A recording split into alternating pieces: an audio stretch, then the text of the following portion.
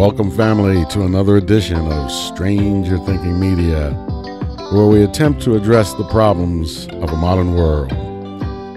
So stay tuned. We have an awesome show for you today. And today we're going to dig into some very serious topics.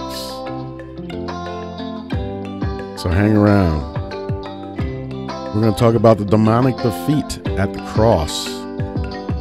Bet you didn't know there was a battle going on there.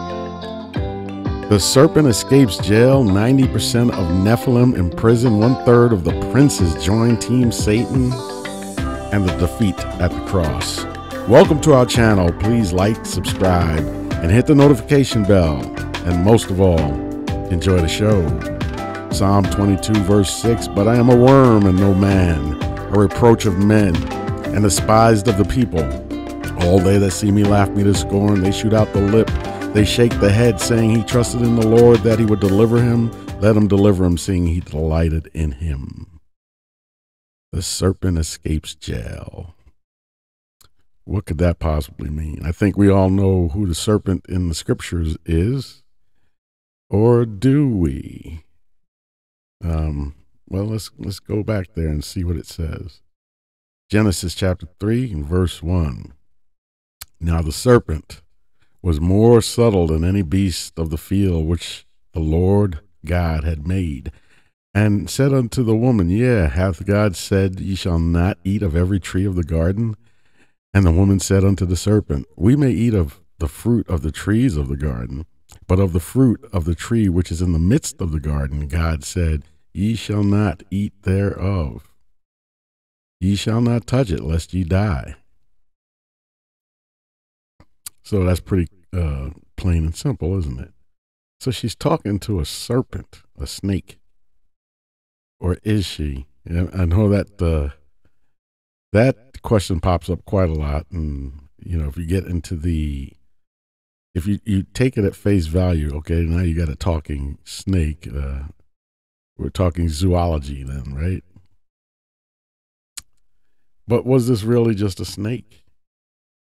You see, what I'm trying to do is get people more in tune to the spiritual side of things because the spiritual world is the big world. This is this is the shadow world. When I mean shadow, your shadow is just a a uh, you know just an image, a silhouette of the real thing. You, you're the real thing. So your shadow is just an image of you, and it's only you know think about it. You're, you're a three dimensional uh, object but your shadow is only a two dimensional object. Well, you could say the same thing about the spirit world. Maybe it is a, you know, four dimensional plane, and we're just a shadow of it in a three dimensional plane. I mean, you know, we think we know everything. We think we're so smart, right? But the truth is, although we have attributes of the Most High because we're created in His image. We're very creative, just like He is very creative, right? But there's still things we don't know, we don't understand. And you can't go by just what you see because we only see, like, what is it, 3% of the light spectrum, for instance. Like, there's 97% of the stuff that goes on around us, literally, we can't see it you can't see radio waves. You can't see microwaves. You can't see infrared uh, radiation, cosmic radiation, magnet. You you can't see forces. You can't see a lot, most of which you can't see, because you are dependent on your on the visible light spectrum in which your eyes are designed to see. So never get to the place and uh, you know i know people think they're so smart and they they know you know I, i've never seen that so it must not exist. Well if that's the case then you wouldn't be around. If all that you can see is all that there is then you wouldn't see it for long because there are forces holding this planet together. You know what i mean? So just because you can't see it doesn't mean it doesn't exist so that's why I'm trying to get everyone to kind of go down that path. Genesis 3, chapter 4, or chapter 3, verse 4. And the serpent said unto the woman, Ye shall not surely die, for God doth know that in the day ye eat thereof, Then your eyes shall be opened, and ye shall be as gods, knowing good and evil. So everybody calls this the tree of knowledge. Um, I've updated it. I call it the tree of tech knowledge because th- this technology we have going on, anything from transhumanism to Starlink to AI, uh, we're going to get in trouble with this. You know, um, CERN, you know, the Large Hadron Collider up at CERN, uh, trying to open portals in the space time continuum. You know, and they've made some movies about that sort of thing. What comes through, you might not want it to come through. But then again, um, if you read the book of Enoch, and we're going to focus a lot on the book of Enoch here, the knowledge was being taught to human beings by these angelic creatures called the Watchers, and they actually taught humans a little too much. Um, so we're gonna we're gonna look at some of that. We're not gonna focus totally on that. We're gonna do a brief run by. So, so the serpent, uh, he was a liar from the beginning, and there he goes. He starts lying. He's a liar and a murderer. That's what the Messiah said. That's what he called him. So let's go to the book of Noah um, in chapter four. Um, now, remember, the book of Noah is it's kind of odd because it's not hardcore like the Bible uh, in terms of its uh, chapters and verses. So I, I, basically said inside of the book of uh, Enoch is the book of Noah and chapter 4 of that book. So that's what we're going to read read from. So verse 10 of that. And the third was named Gadriel. He it is who showed the children of men all the blows of death. So he's one of the watchers. And he led astray Eve. Uh, Eve's original name was Chua, I'm not sure. I'm not an expert on it, but I don't remember the connection. But if you see the word Chua, that means Eve. So it says that Gadrel led Eve astray. Well, I thought it was a serpent. Didn't we just read a serpent led Eve astray? And not only did he leave, lead Eve astray, he shows men, um, you know, basically well, what does it say? Eve and showed the shield and the coat of mail, the sword for battle, and all the weapons of death to the children of men. And from his hand they have proceeded against those who dwell on the earth from that day and forevermore. So, this particular watcher basically teaches man how to fight, how to war how to, you know, he, he teaches them the weapons of war. Now, Azazel um, is mentioned before Gadrel. And if you understand the scriptures, Azazel, um, if you know about the know, Yom Kippur uh, feast, uh, or what we call the Day of Atonement, they place the hands on the head of a goat, put the sins of the people on that goat, and cast him off into the wilderness so he can never find his way back. Well, in the Hebrew, the goat is called Azazel. But we know from the book of Enoch, Azazel was one of the chief watchers. And so what he taught men, it's it's about the same thing here as Gadrel taught men, except he's the one that gets all the blame because apparently he's the one that had kind of the most influence. He didn't initiate everything, but he's the he was the engine behind the whole thing. And so he got a severe punishment and he was thrown into the uh, place of condemnation or the jailhouse basically. And he got put he had the he got put in the deepest part. He got put in solitary. That's how bad Azazel was, and that's how how much uh, he angered the Most High. And so Gadriel is apparently like his lieutenant. And I don't know if you're familiar with the Lord of the Rings, but uh, J.R.R. Tolkien was very, very, uh, he was a biblical scholar, is what he was. He was a linguist and a, a biblical scholar. And if you read the, if you, if you are in tune to it, you will realize that his storyline comes from the book of Enoch, a lot of it. He just overlays the World War II and mid- medieval Europe. Between those three things, he comes up with Lord of the Rings, the storyline, basically. And uh, most people don't realize that. You know, they're getting a lesson in the book of Enoch when they read Lord of the Rings. But if you read that, you'll know that, that the chief villain um, from, you know, who starts the whole thing, his name is Morgoth. And he gets captured and thrown in prison, you know, angelic prison, right?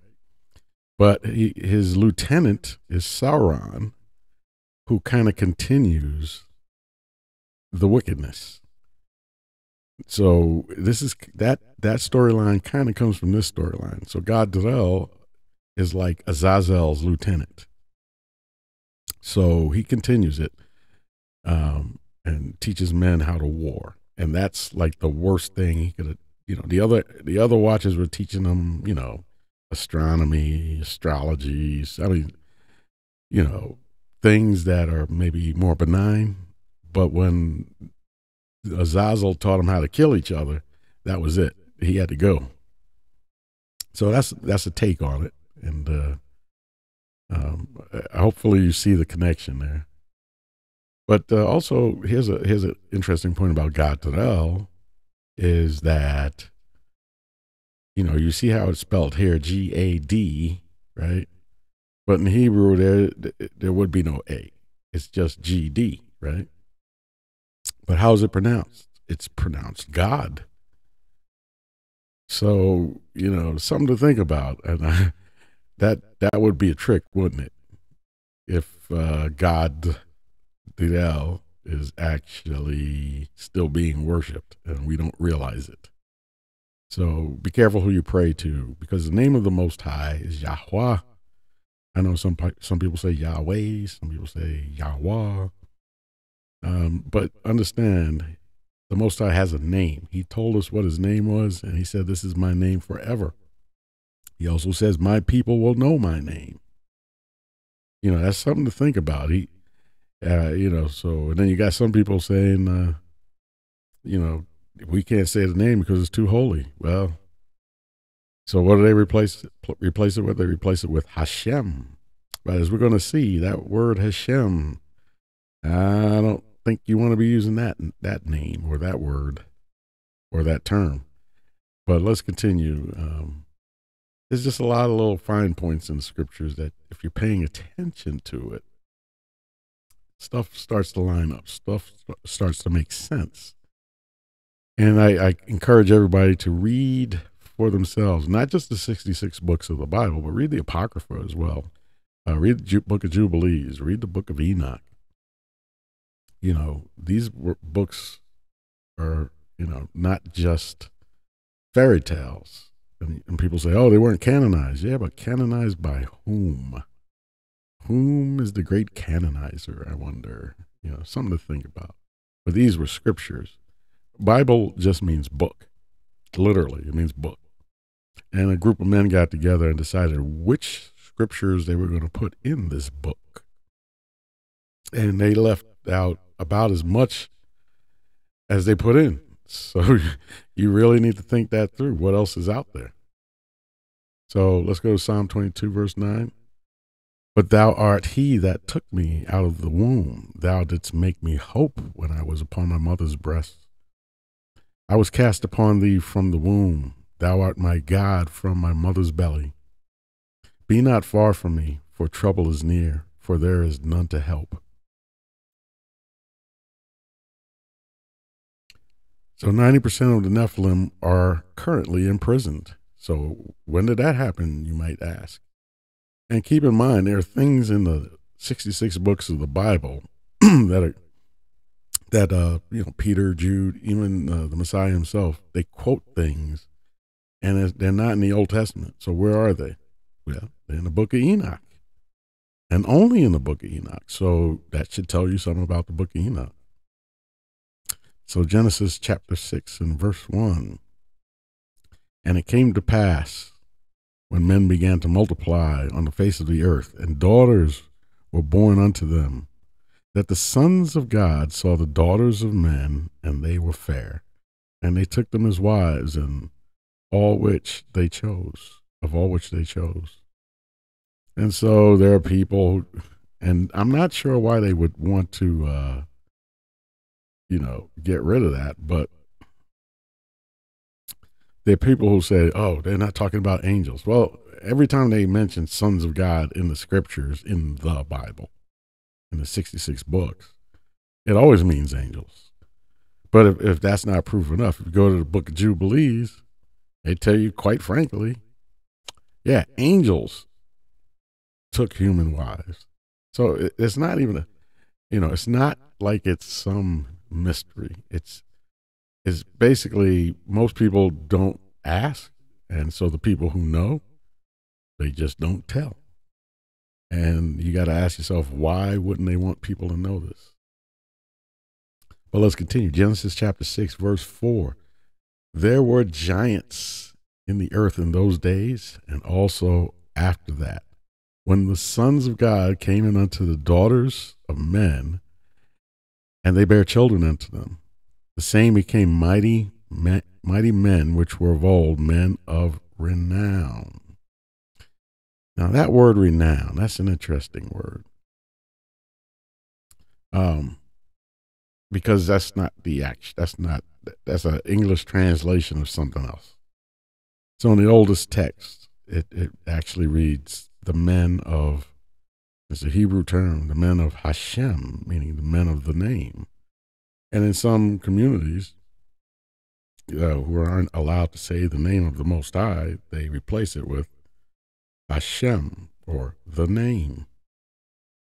Now that comes, that means you, you have to get the gist of what they're trying to say. These mighty men, when they say men of renown, that's not actually a horrible translation. What they were trying to do was get a name for themselves and not be under the name, if that makes sense. So, in a sense, they were rebelling against the name, meaning Yahweh, the, the God of creation. And they wanted to create a name for themselves. In a sense, they wanted to be gods. So you have to understand, and and also the term Hashem has been um, also used uh, for other uh, another deity. Uh, I'm not going to go into that right now, but that term is is kind of the, the translation doesn't give you the understanding of what this means. Men of the name. That's literally the translation. But renown, the reason they probably translated it as renown is because when you want to get a name for yourself, you want to you want to be you want to be God, you know. He got a name for himself, so he's above all others. If you follow my point, if you're picking up what I'm putting down. In Genesis chapter 6, verse 23. And every living substance was destroyed. Now they're talking about the flood, right? Which was upon the face of the ground, both man and cattle, and creeping things, and the fowl of heaven, and they were destroyed from the earth and Noah only remained alive, and they that were with him in the ark. It's emphatically saying the only survivors of the flood were Noah and his family, eight people, and, and the animals that were on the ark. So everybody comes up with all sorts of, oh, well, the, the Nephilim survived the flood. It's, they must have hit on the ark, or some of them went into the ocean and, and survived there. And, and the reason they say that is because uh, at the time of Joshua, there were Anakim, which are giants, and they're the descendants of the uh, Nephilim, and also the Rephaim, which are giants, descendants of the Nephilim, and also the, the uh, um, King Og of the, the Rephaim. He's a giant. He's the king of them, and he's still alive. And then he got uh, Goliath and his four brothers. They're all giants. So, how did these giants survive the flood? Well, the term giants is misleading because it's not It's the word is Nephilim, and King James translates it as giants because they always mention how big they were, right? But if you if you really dig into it, remember the reason the Most High flooded the earth was because the Nephilim were overshadowing um, and replacing His creation, man. They were eating up the resources. They were, uh, you know, they they were insatiable. They were greedy too. They were warlike. Always want. It had to be a war. Got to start a war. It's peace. Nope, can't have that. Got to have war. Gotta you gotta strip the earth of all its natural resources until there's none. You know, and I'm saying all that because I'm going to bring this bring this home a little bit. I'm not going to go all into it because I've I've been through this before, but get the gist of what the Nephilim were like. They were greedy, warlike. They had no respect for the creation, the beauty of it, um, God's creation. They had no respect for God or in this case, I, I don't like saying the word God because we just finished talking about God Terel. So I'll say his name. His name is Yahweh, which means essentially the eternal.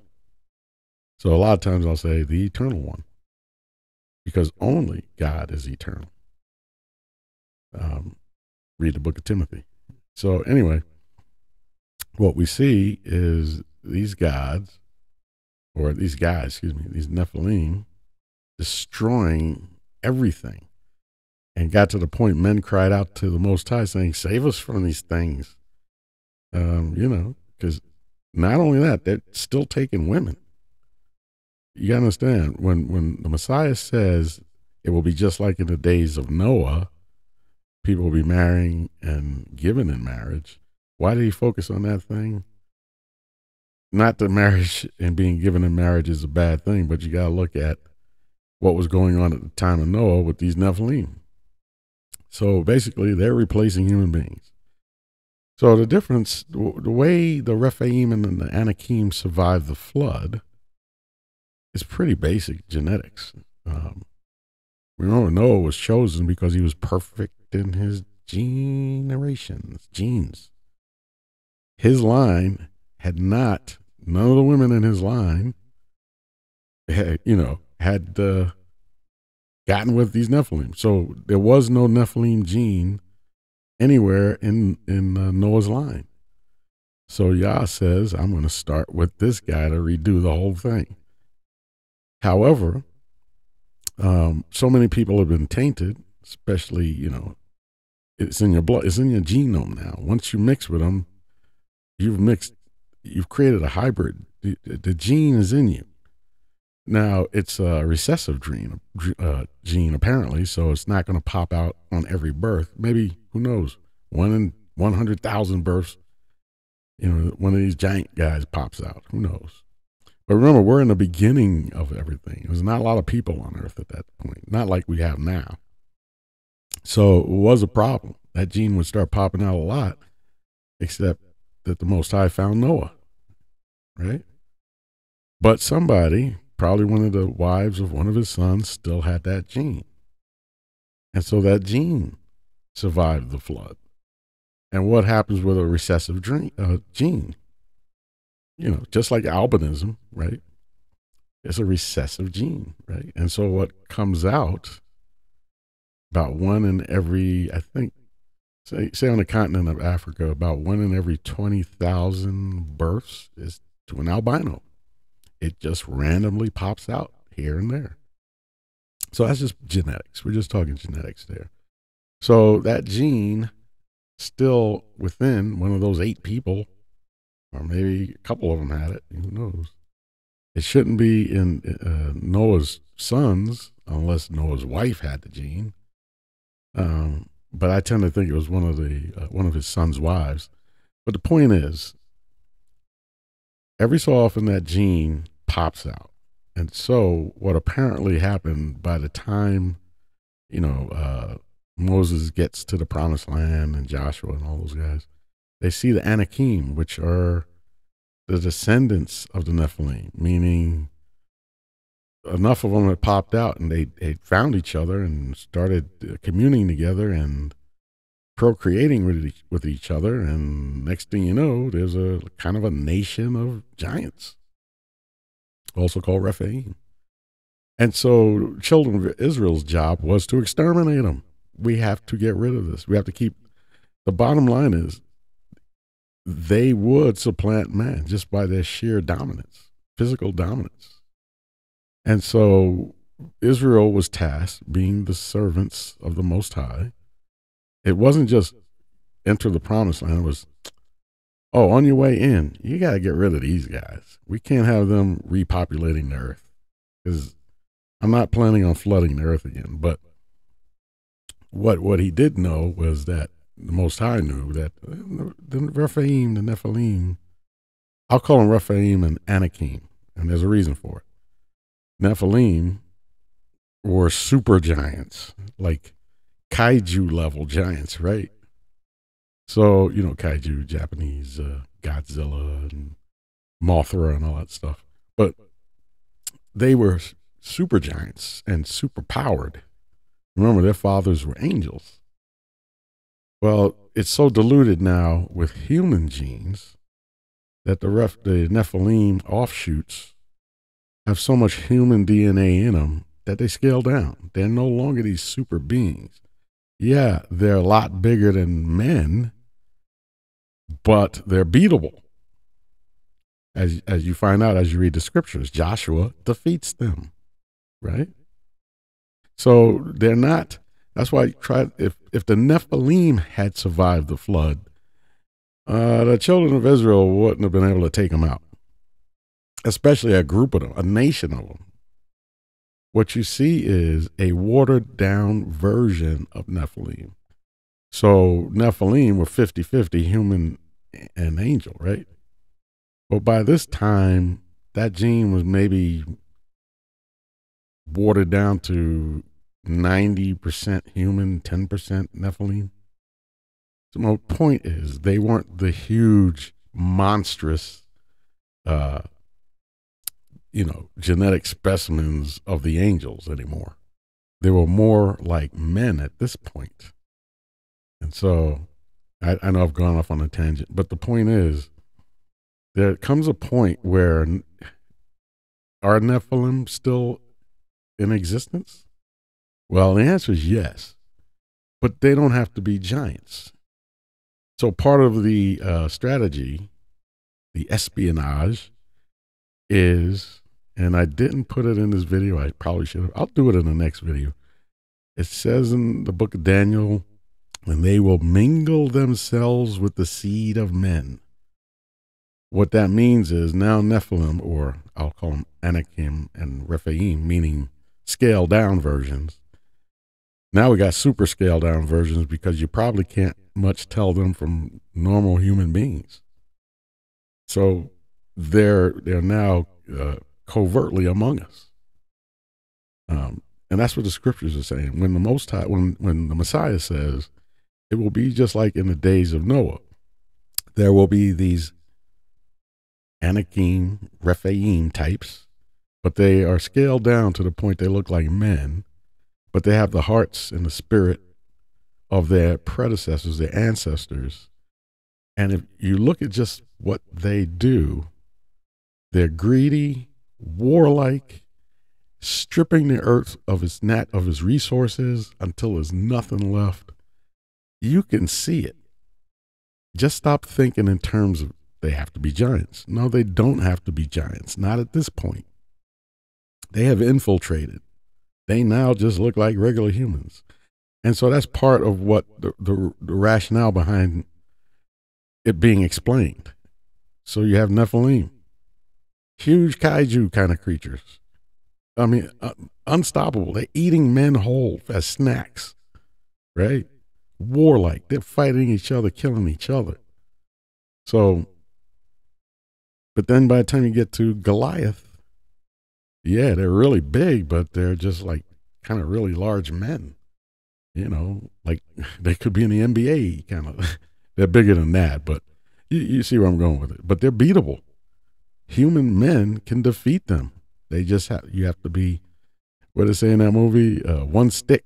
He snaps the stick. Oh, it was Planet of the Apes. One stick, he snaps the stick. A uh, stick by itself, weak. But he grabs a bundle of sticks, now he can't snap them. Sticks together, strong, right?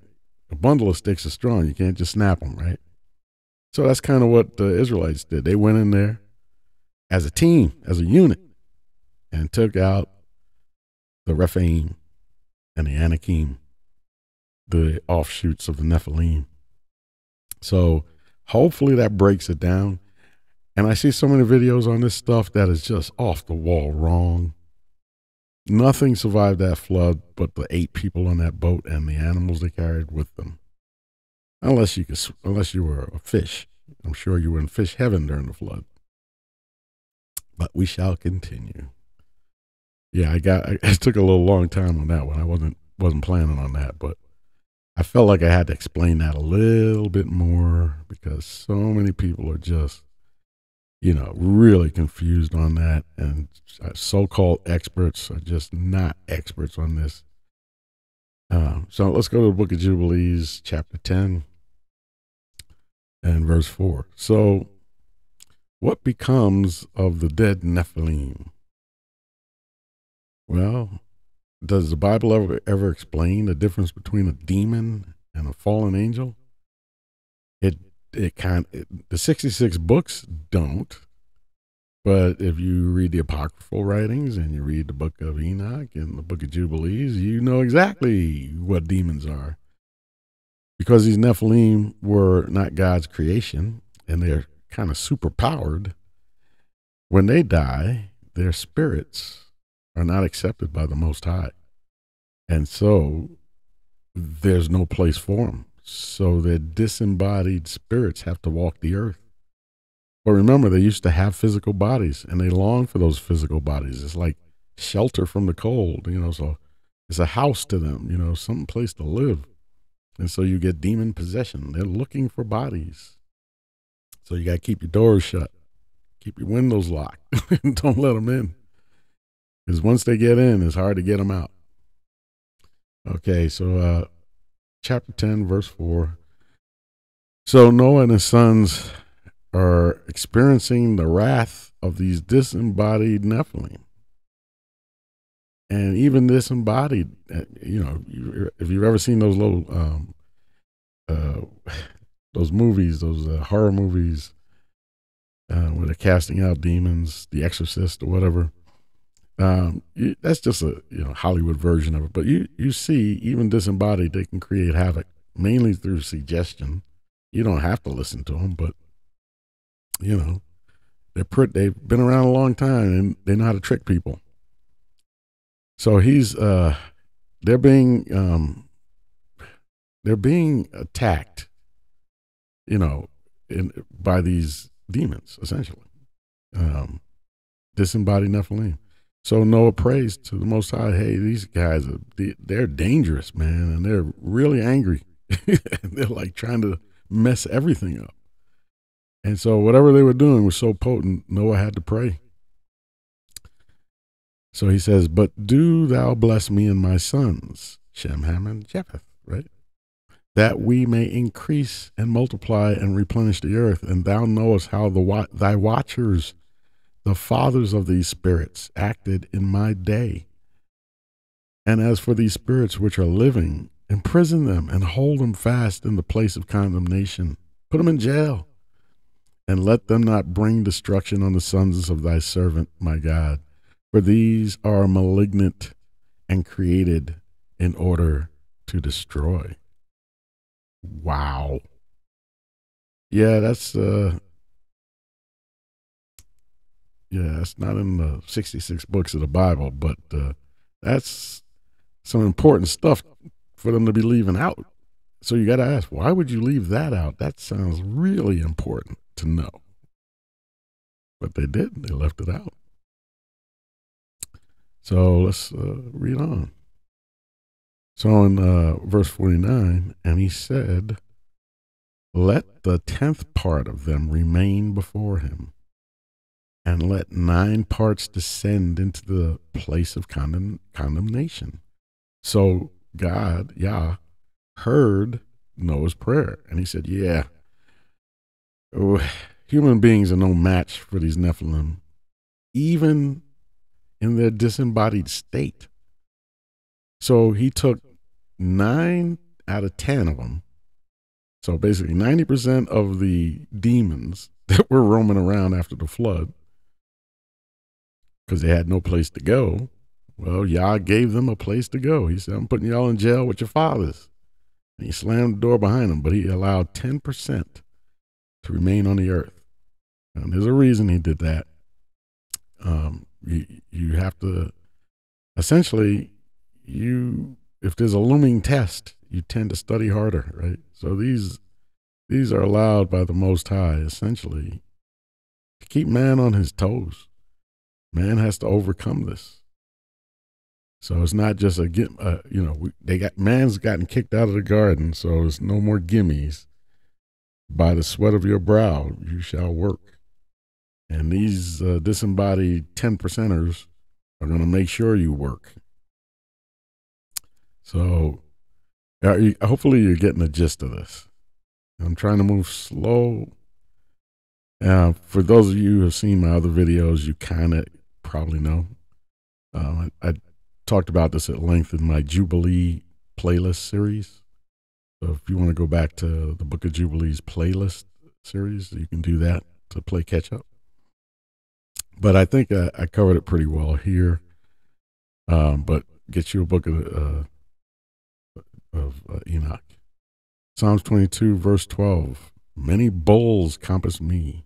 Strong bulls of Bashan have beset me round about. They gaped upon me with their mouths as a ravening and a roaring lion. I am poured out like water, and all my bones are out of joint. My heart is like wax. It is melted in the midst of my bowels. And uh, I went over that in my uh, a previous uh, video um, where we discussed the bulls of Bashan. And they're not really bulls being talked about here. These are demonic forces. Once you understand what Bashan is, it's a land, but who ruled over it?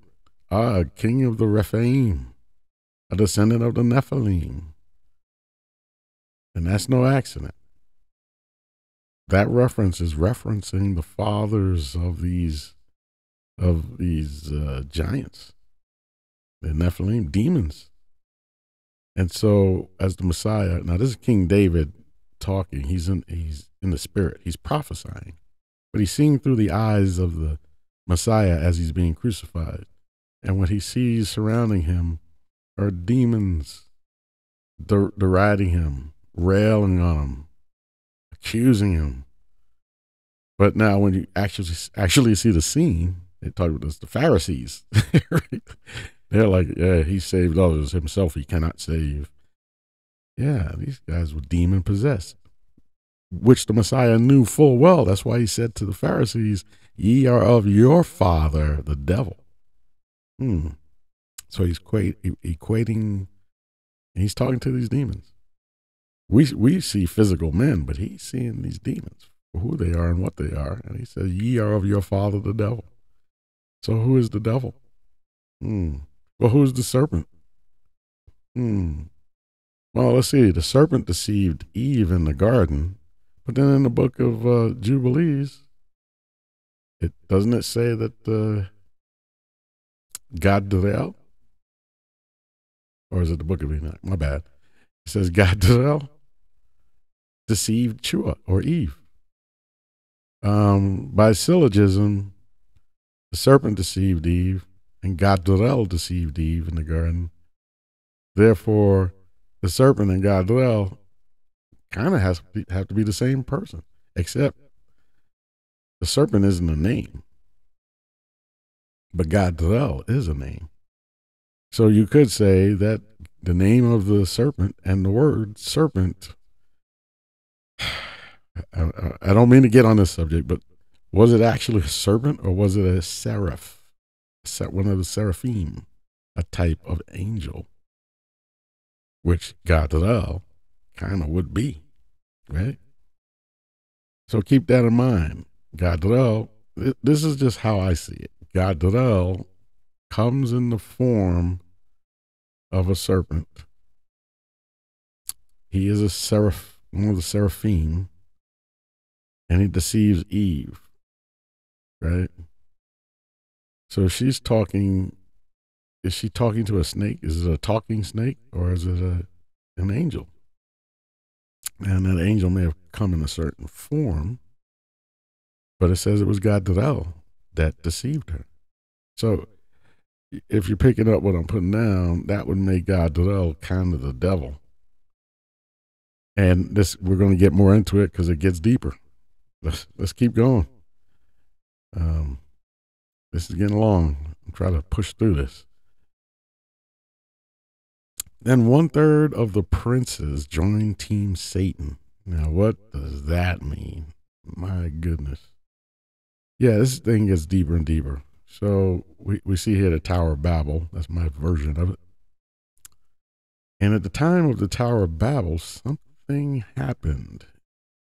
Do you remember? They were talking about uh, um, Yah, Yahweh says, Father Yah says, and let us go down and confound their language, right?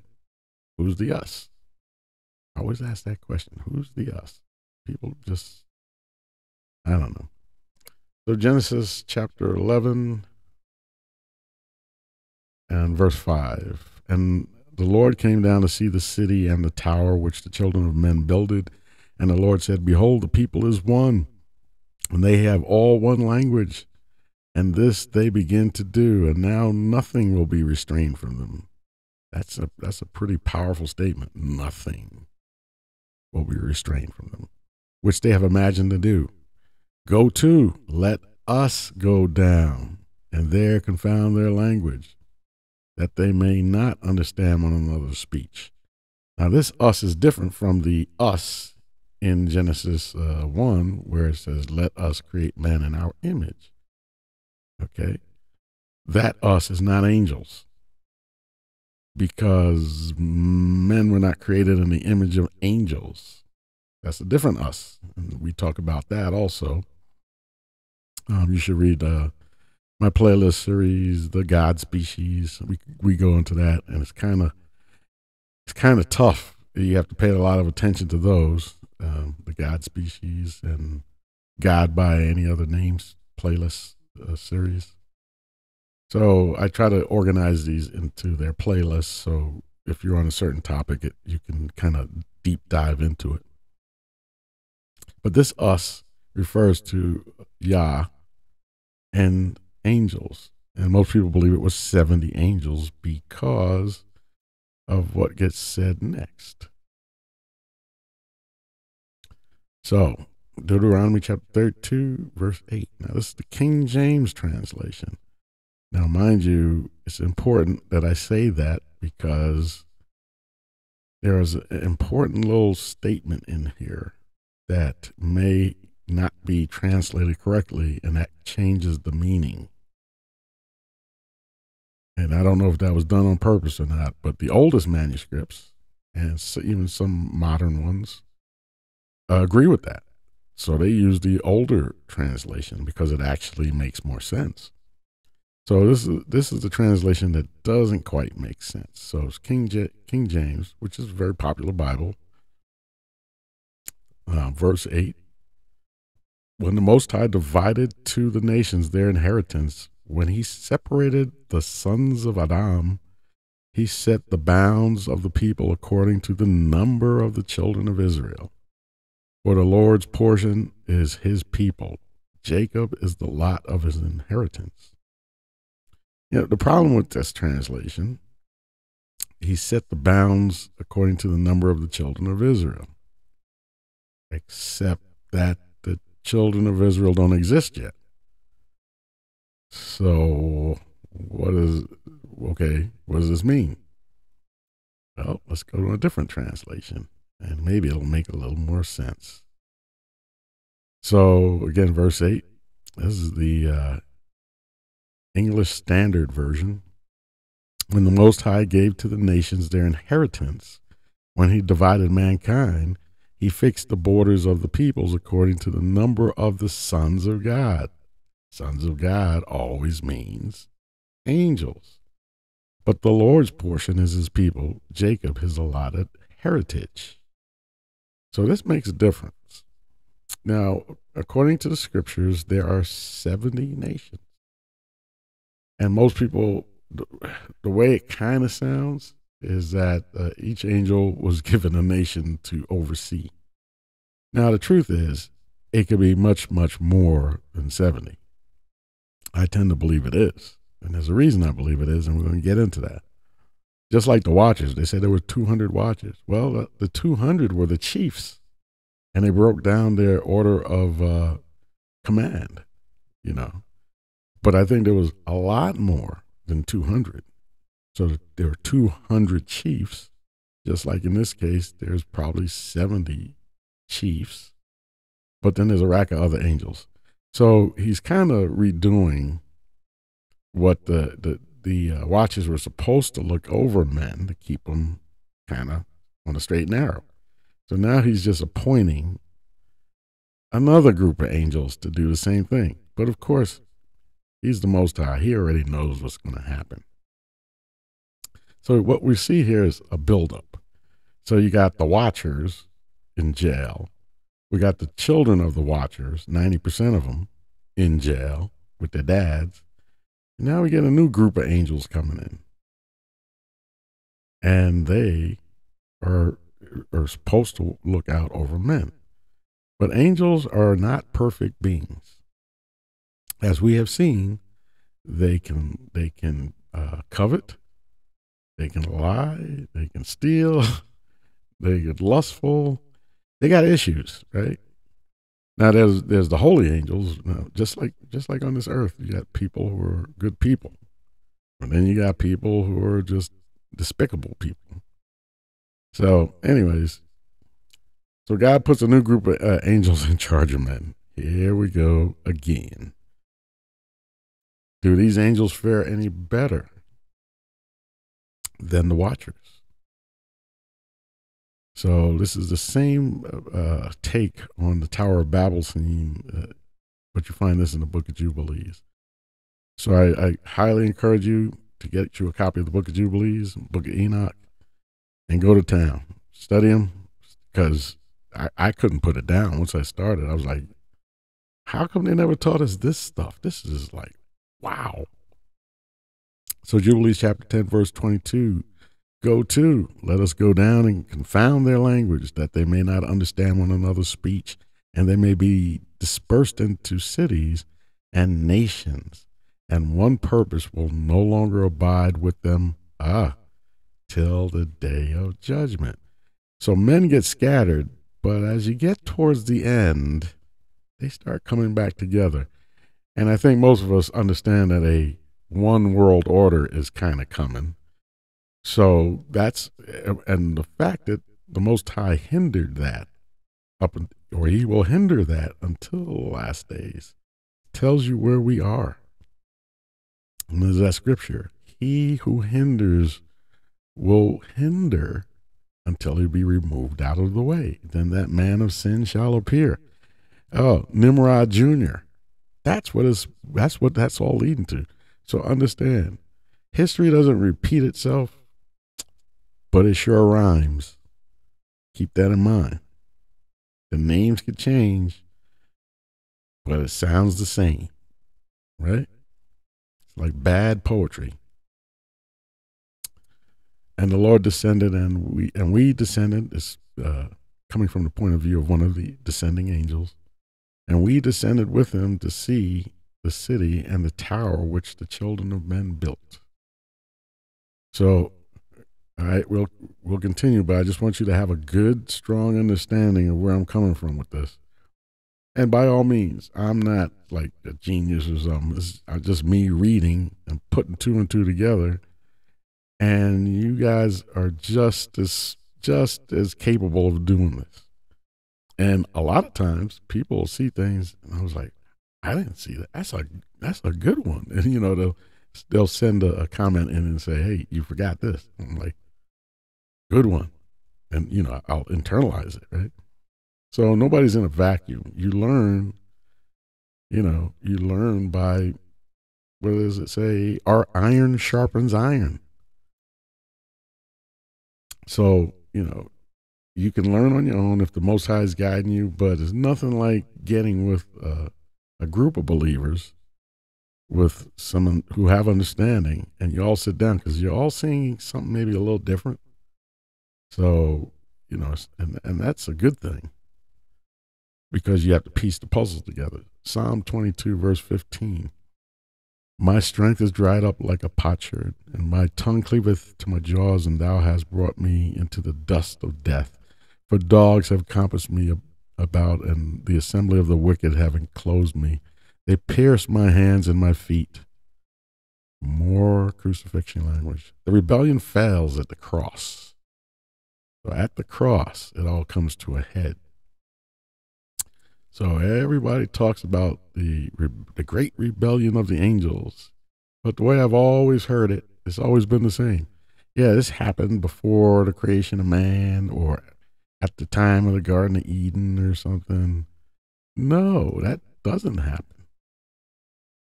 There's only one rebe- one one actual real rebellion, you know, not individual rebellion. But it's not at the time of you know, the serpent in the Garden of Eden. It's not before the earth. I know people say, hey, um, the words uh, was, uh, you know, that were translated in English as, and the earth was uh, void and uh, without form. The Hebrew words being tohu and bohu, meaning made to become that way. Well, maybe. I mean, I used to believe that, that the earth was destroyed by some cataclysmic event. That's what I thought, but that's not necessarily how that's translated. But you know, we'll we won't bash it too much because it could be some truth in there. But the rebellion that the scriptures are talking about happened not in prehistory, not at the beginning of history. It happens at the crucifixion. When Christ dies for our sins. And if you understand the Bible is written a certain way because this Yah does not, the Father does not necessarily want the Satans to understand everything. And only, you know, if, if Jesus or Yah, Yahusha, as I call him, this is his true Hebrew name, he's got his disciples, they eat together, basically, you know, they're together all the time. And there's stuff they didn't know until after it happens and their eyes were opened. Had the Satans understood that by killing this man, they would free humanity from the wages of sin and death, they probably wouldn't have killed him. But being evil, wicked, covetous, adulterous liars as they are, it was easy to ensnare them in their own traps. So basically, they see an opening, they beat the Messiah to a pulp through human men, right? Demon, demon hopping from one man to another, right? Demon hopping. I'm going to use that. Demon hopping. Yeah. It's like that movie Fallen, where people would touch each other and the demon would transfer. It's kind of like that. They, they were flowing. But remember, demons can only flow when there's no insulator. It's like electricity had anybody, and, and of course the disciples were insulators, the, the, that wickedness, those demons couldn't access them. And so Christ could use them. So they, they were they were insulated. They, you know, they were good people, right? They were faithful. And so they were insulated from the demonic forces. And so you do have tools to defeat the devil. You just got to use them. So, anyways, we're going to find out. Let's let's really look at this. Why do people think that there's this great rebellion of the angels that took place at the beginning of time? I mean, I I, I kind of get it because I believed that at one point, but now I don't because I know this. Revelation chapter 12 and verse 3. Let's look at it. And there appeared another wonder in heaven. And behold, a great red dragon. And there's a reason the dragon is red I won't get into that in this video, but yep, it's not an accident that he's red. Having seven heads and ten horns and seven crowns upon his head. I have a video about that. The, it's called uh, Seven Heads and Ten Horns. You should watch that to try to figure out what these seven heads and ten horns are. And it's kind of on levels too. There's a there's an obvious meaning to it, and I kind of deal with it in that video. But there's more. So uh, watch that video too. Seven heads and ten horns, and seven crowns upon his head, and his tail drew the third part of the stars of heaven, and then cast them to the earth. And the dragon stood before the woman, which was ready to be delivered for to devour her child as soon as it was born. Now, this is the scripture that's kind of used to say, see, the devil took a third of the angels with him. Well, got to be careful. It never says that anywhere in the Bible. Not in there. Nowhere in the Bible does it say the devil got a third of the angels to follow him. In fact, let's look at this. Now, it could mean this. Remember, the stars of heaven could also mean Israel. Remember, uh, Joseph had the dream, and the stars in the moon, 12 stars, the sun and the moon bowed down, bowed down to him. So, could it mean that the dragon had either slain a third part of Israel or had uh, corrupted a third part of Israel? Or, you follow what I'm saying? The stars could simply mean the children of Israel. In this case, the Judeans, because the dragon is the Roman Empire. So you can look at look at it that one. But you know, we'll we'll hold on to that with two fingers. Let's just say it does mean angels.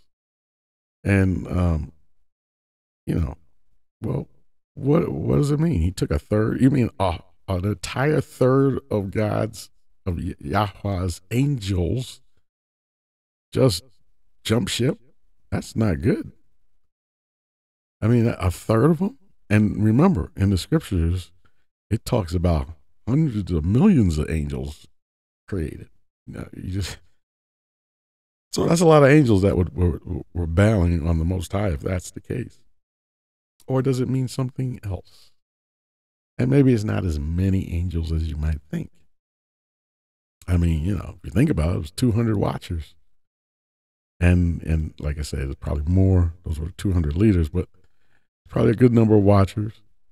But then came those 70 ish angels and whoever else came with them, whatever uh, other angels. Maybe they were the 70 captains and they had, you know, troops under them, angelic troops to look over men. So when it says a third of the angels, what angels? What angels? So, uh, Revelation 12 verse 5. And she brought forth a man child who was to rule all nations. So, you know, that's a, a kind of a hint. So, she, who's she? Is it Mary? Kind of. But, but more emphatically, it's Israel, the woman right? Um, so she brings forth a man child to, rule all nations. Who's that man child? That's the Messiah. So wait a minute. So let me let me get this straight. So Revelation chapter 12 is about what was going on at the time of Messiah. It emphatically is not about the time of the beginning or the time of his prehistory before before the beginning. It's not that. This rebellion is occurring. Remember, it's the uh, Apostle John is writing this on the Isle of Patmos shortly after all this, these things happened. So, and she brought forth a man child who was to rule all nations with a rod of iron, and her child was caught up unto God and to his throne.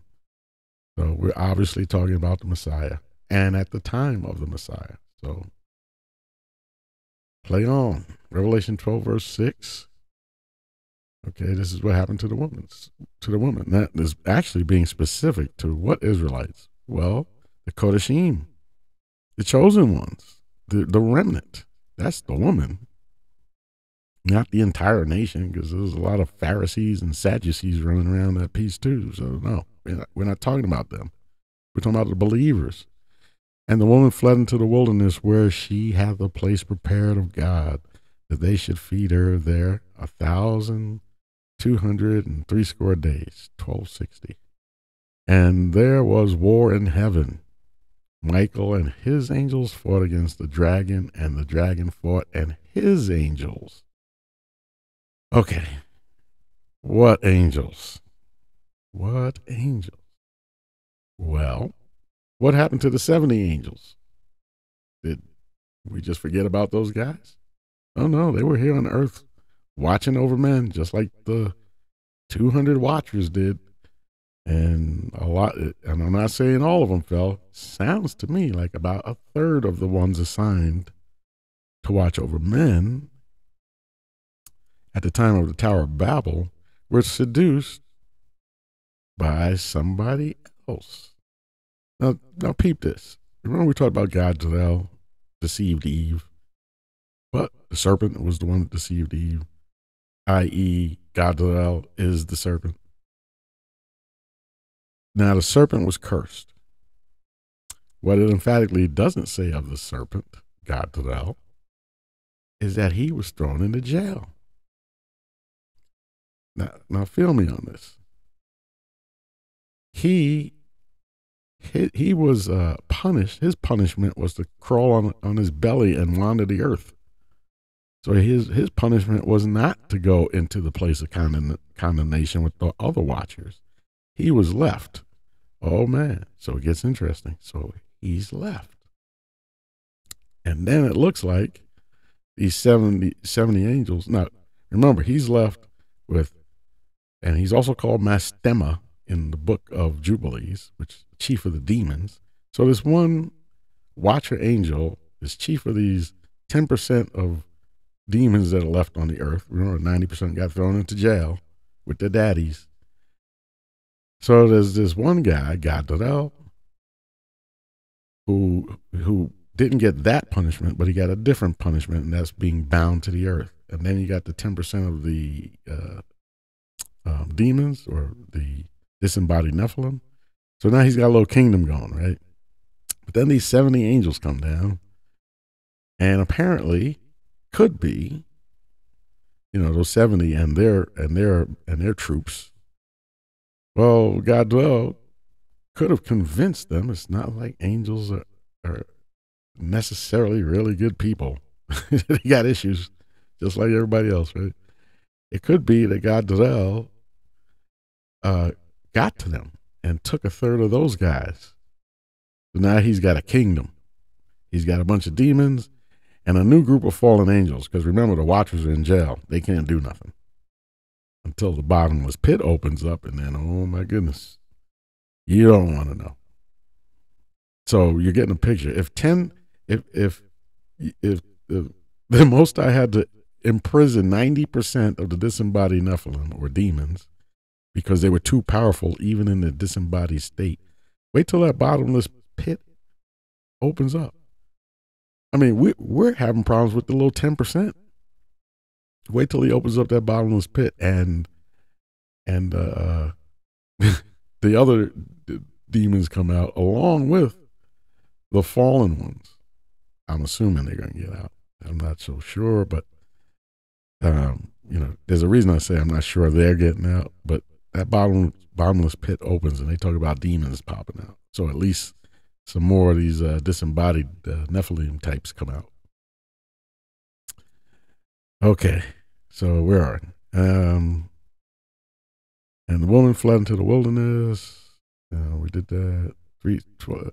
Okay, and there was war in heaven. Michael and his angels fought against the dragon, and the dragon fought and his angels, and prevailed not neither was their place found any more in heaven. So, okay, think this through. Remember the book of Job where it says, uh, the Most High called the sons of God together and he said, Hey, have you seen my servant Job? And Satan was among them. Satan simply means ad, uh, adversary. It's, it's not a name. So Satan could simply be God know. you know what I'm saying? So, uh, I mean, did you see my servant Job? And I'm a, I'm to say it like this because I really think this is the case. And Gadriel said, uh, "Yeah, yeah, yeah, yeah. Just because you hedged him about, but I bet, bet if you uh, if I touched him, he'd curse you to your face." So we start seeing getting a picture here. So we see Gadriel, adversary number one, his and he also called Mastema in the Book of Jubilees, and his 10% of all the Nephilim, disembodied Nephilim, are still under his command. And now you got the 70 angelic commanders who came down during the Tower of Babel and the angels that came with them. And it sounds like a third of them might have joined forces with Gadriel, who was bound to the earth because he was cursed in the garden, right? So this is getting deep. And I'm not saying I'm, I'm 100% on this because, like I say, the stars of heaven could mean all sorts of things now, right? So, um, but I doubt seriously that the devil went up there and got a third of the angels to come down there. You know that that's something a little different. But anyway, uh, we're gonna bring this bring this home. So, say that he has his little kingdom now. A third of the angels and all of the demons, and when I say angels, the ones that were set to, to stand over man, how would Gadriel or Mastema, the chief of the demons, how would he entice a third of these angels? Well, he'd been doing it for a long time. He's good. He's got the gift of gab. Because when you get to uh, Daniel and he's talking about the prince of Persia, well, who's this prince of Persia that could withstand Michael the archangel? You guys remember that story? Go read it. Because no human man could withstand uh, Gabriel and and fight fight uh, Mike, Michael the archangel for 21 days. Yeah, that's that don't even make sense, right? No. This thing called the prince of Persia, remember Paul talked about principalities, rulers. You know what I'm saying? In high places. Yeah, these are principalities. These principalities. What is what is Michael called? The prince that standeth for the people of, of the Most High. Right? Michael is called a prince. So the prince of Persia is obviously an angelic being that is strong enough to give Michael a fight. But Michael overcomes him because you know he's Michael, right? So anyway, up until that point of the cross, remember Satan, Gadriel, could go before and accuse men. They even talk about it in the book of Jubilees. Only he's called Mastema, chief of the demons in that book. And he's called Mastema because he's not a demon. He's a fallen one. He's He's Gadriel, right? And so, but he's chief over the demons that are left, right? Floating around. So, anyway, he's also called Belial and the devil and all this stuff, Lucifer, whatever you want to call him.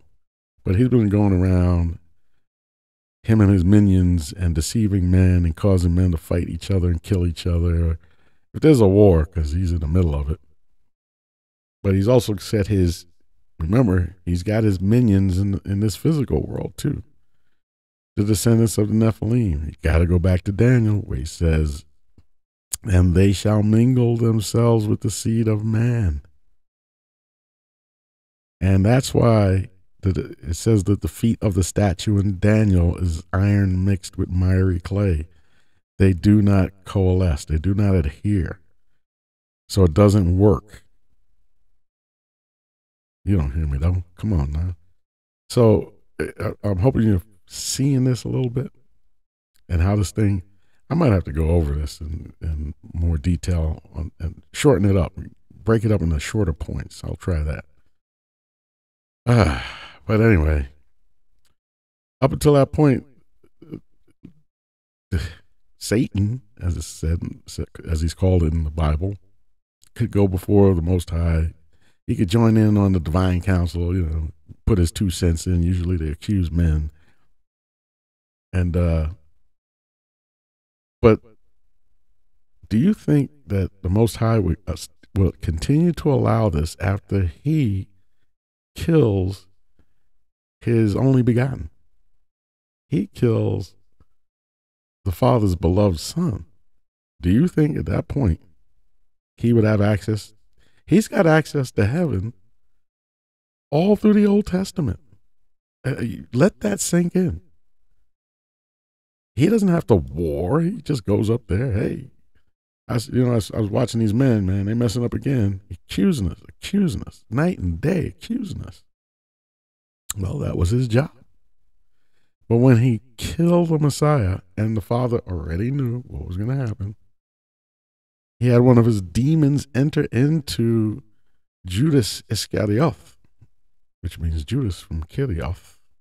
And that means something too, but that's another video. Um, but he enters in and he does the work. Maybe one of those strong bulls of Bashan got into him. But it was at that moment that he no longer had access. And he tried to go up there and he gets met. He gets met head on by Michael and his angels. And then there was war. And he was cast to the ground, no longer having access at all. It was at that point that he lost his access. And it says the drag woe, woe, woe unto the inhabitants of the earth, for the dragon has come down to you in great wrath. That was at the time of Jesus. Jesus or Yahusha is his name, real name, Yahusha HaMashiach. Right? He's named after the Father, whose name is Yahweh. It's very important, but I won't get into that on this. So anyway, he lost access to heaven at that moment, at the crucifixion. And he can no no longer go back up there. He tried to force his way back up there with his his new his new little his new army and they were kicked out, summarily kicked out. And that was that. Can't go back up there. So that's a lot, right? Revelation 12, verse 9 And the great dragon was cast out, that old serpent called the devil and Satan, which deceiveth the whole world. He was cast out into the earth, and his angels were cast out with him.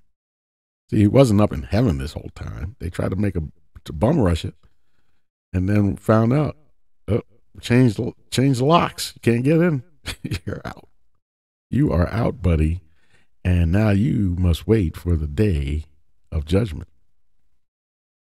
Along with the watchers.